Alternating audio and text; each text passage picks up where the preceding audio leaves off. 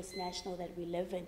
You know, women are so much lacked in power, but yet they can strive and become the best that they can be with their ability. Good evening and welcome to my show. I am Cindy Somkunu, and today we're going to be talking about women empowering. Stay tuned and do not go anywhere. We'll be joined by Felicia on my show.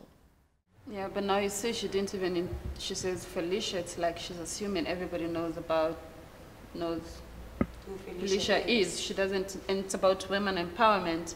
Should introduce Felicia in a very strong way. Introducing the Queen of Talk. Yeah, it's- She pioneered talk yeah, shows in South Africa and Yes or no?